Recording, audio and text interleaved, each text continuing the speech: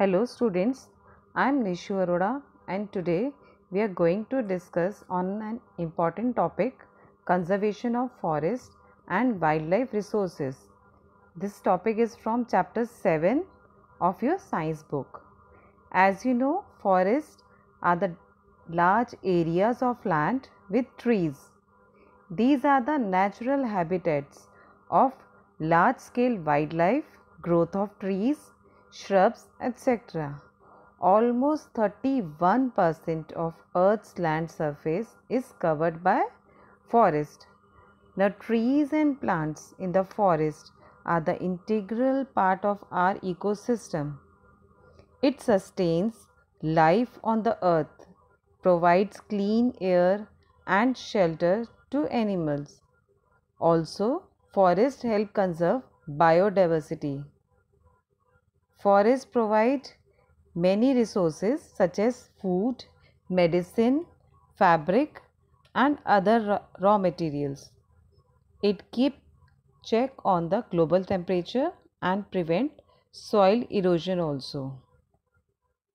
It controls the flood by maintaining water cycle. But due to increasing deforestation, it has become essential to conserve forest throughout the world. Deforestation means clearing of forest and using land for other purposes. So, deforestation can be caused, the reason can be for agriculture, for the expansion of land for agriculture, for livestock, for making houses and factories. The wood is used as a fuel for furniture. Wood pulp is used for making paper. The natural causes of deforestation are forest fires and drought. But rest of the causes are man-made. So what is forest conservation?